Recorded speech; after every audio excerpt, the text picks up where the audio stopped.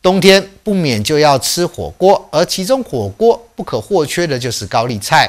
而根据农粮署每十天进行的统计表示，高丽菜在上旬、中旬再次有超重的情况。这一次是针对高丽菜发出了警示，预请农友要分批的减重，才能够确保收益。